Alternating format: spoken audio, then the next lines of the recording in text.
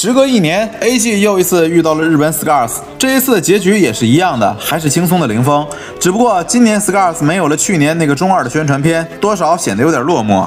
第一局两边打的有点沉闷，前期根本就没有任何碰撞。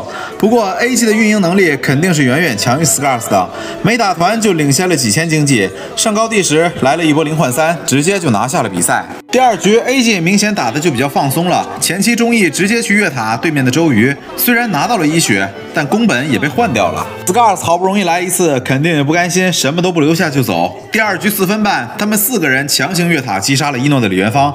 果然，一诺在场上总是最能吸引仇恨的那个。随后，轩染的姬小满和对面的静也来了一波皇城 PK，轩染也不负众望，完成了单杀。我在等 CD，你在等什么？能换一半。对他这个大招就纯纯的是一个追击型大招，就补伤害。